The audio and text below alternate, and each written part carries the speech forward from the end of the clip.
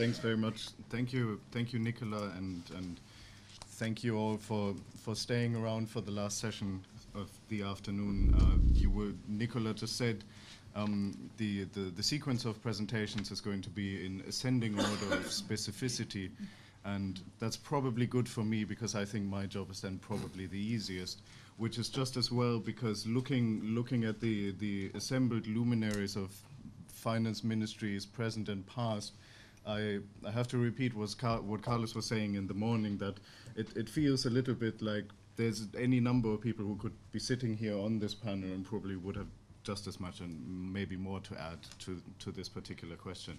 So without further ado, what do we know about finance ministries and does it really matter? I, I, should also add that when I say finance ministries, I'm just using that as a generic term, which to me is just slightly easier pr to pronounce than central finance agencies. I basically mean the same thing.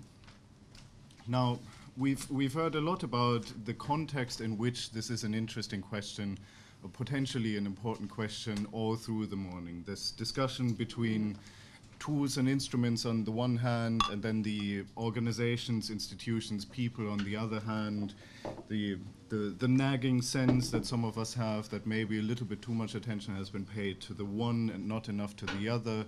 There's also a different, slightly different, but closely connected discussion about the the technical domain of public financial management versus the, the non-technical factors that shape budgeting and PFM. It always makes me cringe a little bit to talk about non-technical factors because that just makes it sound a little bit more fuzzy or more poorly defined as though if uh, as soon as something becomes technical then it's it's something specific that we can deal with and I think that's also something that is worth challenging. And then finally um, there's an interesting contrast, I think, that if you if you look at public financial management versus public administration, public administration is a very well established academic discipline where every decent university that has a social science department, you have tons of people doing research on public administration, yet issues such as civil service reform, organizational restructuring, incentives of, of staff, and all of those things are not really all that fashionable in, in international development anymore. Certainly not as much as they used to be in the 1990s, whereas in, in, with public financial management, it's almost exactly the opposite. That we didn't find it all that difficult to assemble 100 people in this room and, and a significant audience online. But if you wanted to look at different universities, literally the, the, the public finance sort of teaching and research community, half of it is probably going to be here. Mm-hmm. So the other half of the globe better not fall sick at this. Well, nobody should do anything to this building right now because otherwise the teaching of PFM is going to be significantly affected in the next semester. And it is just something interesting to reflect upon. Is it because we are just getting our priorities slightly wrong? Is it because the people in the academic ivory tower are paying attention to the wrong things? Something to keep in mind. I'm going to start out um, with the, the sort of the first metaphor, um, and as so often a picture probably says more than a thousand words, is this old tale of the, the six blind people or the several blind people and the elephant who are who are looking at this thing, this this beast that they don't really understand, and everyone is trying to touch and figure out from a different part of the entire thing what the whole beast might be looking like. And so the person who is who's tugging at the tail was going to say, well, this this elephant is, is something like a snake. It's it's it's like a ropey, thin kind of thing. And the the, the person who is who's who's standing next to one of the legs is going to say, well, it's it's it's it's like a tree. I don't quite know what it is. And then someone who, the, the other one who's tugging at the tusk is going to say, this is a fearsome beast that has gigantic teeth and probably hundreds of them. It must be very dangerous. But none of them is getting the entire story right. And I think one of the propositions that, that I would make in this presentation is that we, we have some tools that we use to look at ministries of finance and they are telling us something about them but what they're telling us about them is not the entire story. That doesn't mean that anything that we write know right now is literally wrong. It's just that it's not, it's, it's, it's part of a larger whole, and what we are looking at and what we're choosing to look at might be skewed because of the limitations of the choices that we make in terms of what we want to analyze. And one of the things that we've been hearing of quite a bit in the morning was about uh, PEFA indicators, um, the great benefit that PEFA indicators give us in terms of enabling people to measure the quality of PFM systems. And of course, PEFA indicators tell us something about ministries of finance. They, they tell us that if, if your PEFA score for budget credibility is low, somebody is not doing their job quite right. If that job is the job of the Ministry of Finance, then there is a little bit, there's something wrong there. It might be because they're not trying, it might be because they're trying and failing. All of those things we don't know, but we're not completely ignorant. And in the course of the next couple of slides, I'm just going to go through some other images representing maybe some other blind people who have a slightly different take on these things. And maybe by looking at the combination of these different factors, we have a slightly more nuanced and more interesting story to tell. There are not going to be any answers. This is um, a lot of it is actually work in progress that, that, that we've been working on individually over the last couple of years, collectively with a couple of pieces of research that are underway right now, and maybe in a, in a few months or a few, few year, excuse me, few years' time, we will be slightly further down the road of being able to say something that is more definitive.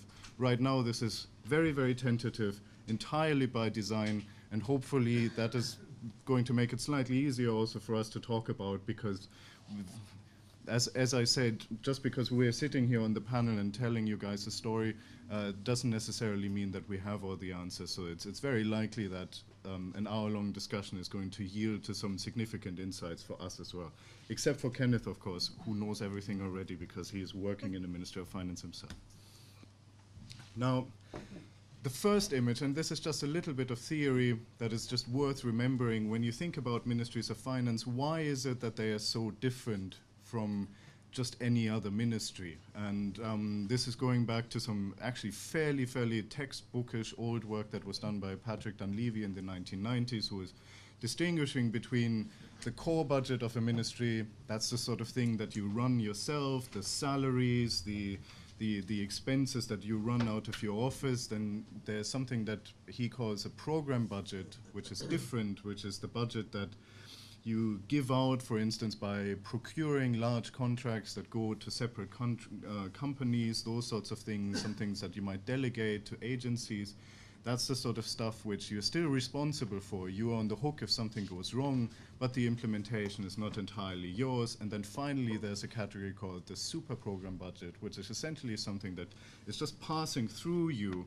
It has something to do with you, but the entire activity in terms of what government actually does, the, the financial management of it, the, the salient decision making, a significant part of the political accountability rests somewhere else. And with, just to show how this plays out in three different examples, if you look at a typical Ministry of Defense, there are lots of soldiers whose salaries they pay, lots of civilian staff whose salaries they pay, but they also do gigantic procurement programs, so it's a combination between core and program. If you have a Ministry of Education, it's slightly different. There might be lots of delegation to subnational entities, for instance, where the Ministry of Education still needs to claim and own some of the responsibility, but as far as the money management goes, it's not really theirs at all.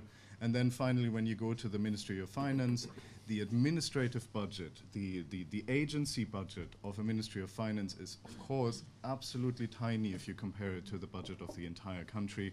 And that's where the whole headache for the Ministry of Finance begins, because they, their, their job is to manage something which they can't really manage themselves. they don't have the usual incentive that we ascribe to, say, the Ministry of Education, where more is almost inevitably better if you win in budget negotiations and you get more money to spend. That's good times in your ministry. If there's less, then they're not so good. If you're in the Ministry of Finance, you you think about a completely different set of issues because you, as an individual official, gain very little from having more money to spend for yourself. Now, I would have thought that this might have been a gratuitous use of a graph that I'm just uh, I just happen to be very fond of. I'm very interested in history and where these things come from originally. Um, Luisa Diogo saved me from the gratuity of, of putting the slide in here. If you look at the budget institutions in ministries of finance that we know today and where they originate in European countries where that stuff was invented, the idea of having a budget that is predicted by officials in a ministry so that you have revenues that broadly match expenditure a year ahead of time. The idea that you have an internal auditor, that you have an external auditor, that you have people who authorize expenditures before they take place. All of these things were invented, so to speak, in their modern form in an environment where 80 to 80%, 90% of the spending went exclusively for the military. It's like the Mozambique of the 1990s that we just heard about. And it obviously, the, the, the, function that those ministries are meant to perform determines the instruments that are going to be used and that become more popular. A lot of the things that we talk about in terms of the, the modern budget process, parliamentary approval, external accountability, scrutiny by legislature, by, by the probing eyes of the media and those things, they are in, on the other side of this particular graph, the, the internal workings of government, they, a lot of that was actually fairly set when issues such as accountability came around.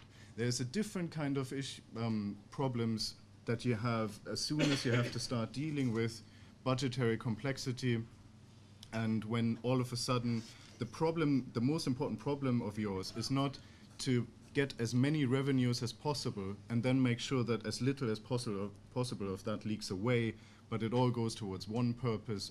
When, when you have, as you did in, in, in Western Europe during the 20th century, all sorts of different things and you need to start reallocating, then maybe you find yourself in a position of austerity where reallocation isn't just dividing up of the additional increment, you actually have to do the least fun thing possible, which is to cut allocations to, to people who care about these things very deeply.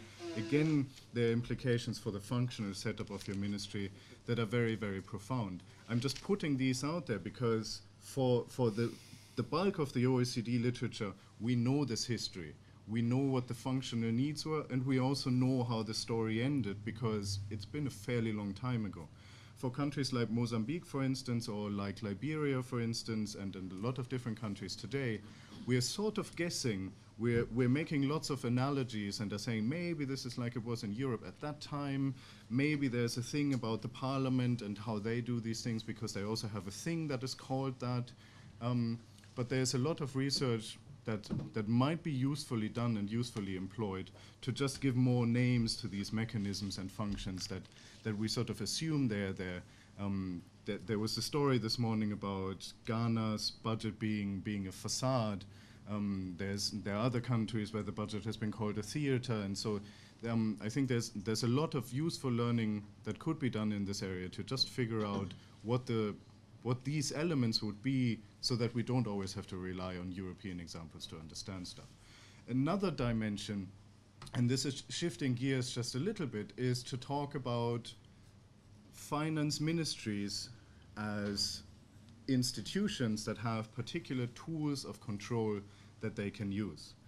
And they do that partially alternatively to legislatures, they do it partially in complement to legislatures, but it's it's a perspective that Joachim was talking about when he was when he mentioned the von Hagen index.